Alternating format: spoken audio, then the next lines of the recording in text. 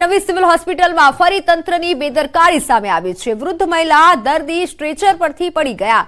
Civil કેમ્પસમાં stretcher તૂટી જતા વૃદ્ધા પટકાયા હોસ્પિટલ જતી વખતે આ ઘટના બની કાટખાયેલા સ્ટ્રેચરને કાપડથી બાંધવામાં આવ્યું હતું. તૂટેલું અને કાટખાયેલું સ્ટ્રેચરના કારણે મહિલા રોડ વચ્ચે પડી ગયા.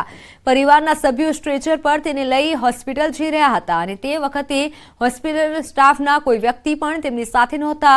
મહિલાના બંને પગ સ્ટ્રેચર પર હતા અને બંને પગ ફ્રેક્ચર પણ હતા. તેથી સ્થિતિ કફોડી બની હતી.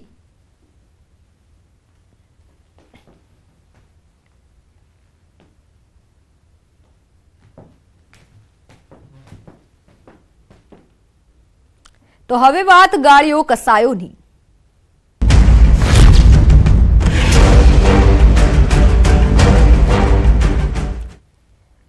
આપના ધારાસભ્ય ચેતર વસાવાના ત્રણ દિવસના રિમાન્ડ મંજૂર કરવામાં આવ્યા છે. ધારાસભ્યે કોઈ પણ તકલીફ ન પડે તેવા સૂચન સાથે કોર્ટે આ રિમાન્ડ મંજૂર કર્યા છે. ચેતર વસાવાને આજે કોર્ટમાં રજૂ કરાયા હતા. ડેડિયાપાડામાં વનકર્મી પર હુમલો અને ફાયરિંગના કેસમાં આત્મસમર્પણ કર્યું હતું.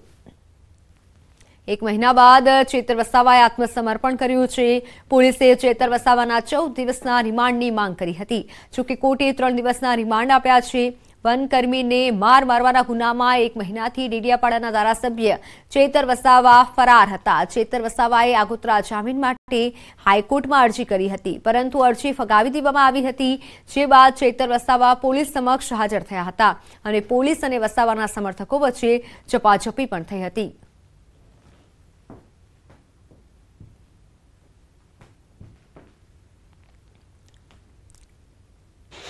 આ પોલીસના રિમાન્ડની માંગણીની સામે માનની ધારાસભ્ય ચૈતરભાઈ વસાવા તરફથી વકીલ તરીકે અમોએ પક્ષ રાખ્યો અને બંને પક્ષની દલીલો સાંભળ્યા પછી નામદાર ડેડિયાપાટા કોર્ટે અઢાર તારીખે બપોરે બાર વાગ્યા સુધીના રિમાન્ડ મંજૂર કર્યા છે.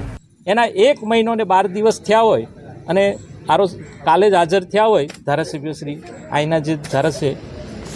એટલે એ ક્યાં હતા એ બાબતે પણ તપાસ કરવાના પોલીસ અધિકારીએ રિમાન્ડના મુદ્દામાં જણાવ્યું હોય અને એના આધારે આ તમામ મુદ્દાઓને ધ્યાને લઈ નામદાર કોર્ટે પાંચે પાંચ આરોપીના દિન ત્રણના એટલે અઢાર બાર બે હજાર ત્રેવીસ બપોર બાર વાગ્યા સુધીના રિમાન્ડ મંજૂર કર્યા છે. સુરત એરપોર્ટનું પીએમ મોદી કરશે ઉદઘાટન. સત્તરમી ડિસેમ્બરે પીએમ બનશે સુરતના મહેમાન. નવા ટર્મિનલ બિલ્ડિંગનું કરાશે ઉદ્ઘાટન. બે ઇન્ટરનેશનલ ફ્લાઇટને લીલી ઝંડી આપશે. નવા ટર્મિનલ બિલ્ડિંગને બન્યા બાદ દેશના વડાપ્રધાન પ્રથમ વખત સુરત આવશે. ટર્મિનલ બિલ્ડિંગના ઉદ્ઘાટન સાથે સુરત એરપોર્ટને ઇન્ટરનેશનલ એરપોર્ટનો દરજ્જો મળે તેવી શક્યતાઓ છે.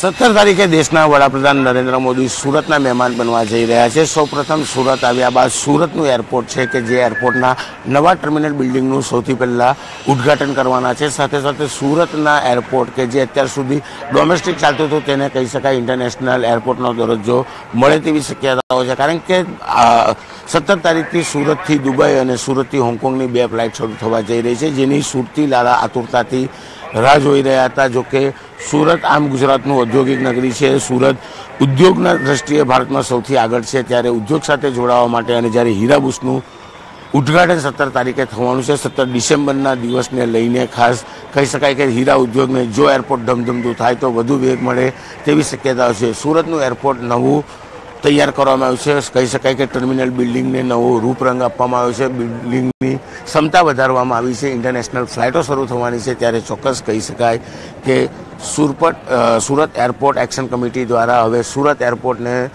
દેશના વડાપ્રધાન નરેન્દ્ર મોદી એરપોર્ટની નામ આપવા માટેની માંગ કરવામાં આવી છે. દ્રશ્ય સીધા જોઈ શકાય છે કે સુરત એરપોર્ટ પર એક સમય હતો કે એક ફ્લાઇટ નથી, પણ ધીરે ધીરે ધીરે જે રીતે ફ્લાઇટની સંખ્યા વધી છે અને હવે કહી શકાય કે એક ઇન્ટરનેશનલ ફ્લાઇટ બાદ હવે બે ઇન્ટરનેશનલ ફ્લાઇટો સત્તર તારીખથી મળવાની છે. એટલે કે નવી ફ્લાઇટના કહી શકાય કે ગ્રીન ઝંડી સાથે ટર્મિનલ બિલ્ડિંગનું પણ ઉદ્ઘાટન દેશના વડાપ્રધાન કરવાના છે. તમામ તૈયારીઓ અને આખરી ઓપ આપી દેવામાં આવ્યો છે. ત્યારે કહી શકાય કે આ જ એરપોર્ટ સુરતની વિકાસ કદાચ ભારતમાં સૌથી ઝડપી થાય છે. પણ જ્યારે એરપોર્ટ ફરતી ધમધમતું થશે ઇન્ટરનેશનલ ફ્લાઇટો મળશે તો સુરતનો વિકાસ દસ નહીં, પણ સો ગણી ગતિથી આગળ વધે તેવી શક્યતાઓ પણ દેખાઈ રહી છે. કેમેરામેન ભરત બ્રહ્મભટ્ટ સાથે કીર્તેશ પટેલ, ન્યૂઝ એટીન ગુજરાતી, સુરત. તો બીજી તરફ સુરત એરપોર્ટનું નામ બદલવા માટે માંગ કરવામાં આવી છે. સુરત એરપોર્ટ એક્શન કમિટીએ પત્ર લખ્યો, નરેન્દ્ર મોદી ઇન્ટરનેશનલ એરપોર્ટ નામ કરવા માટે માંગ કરાઈ છે.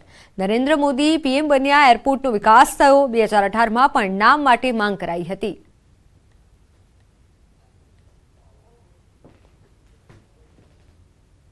અઢારમાં પણ આવી રીતે પત્ર લખીને અમે માંગણી કરવામાં આવેલા હતા.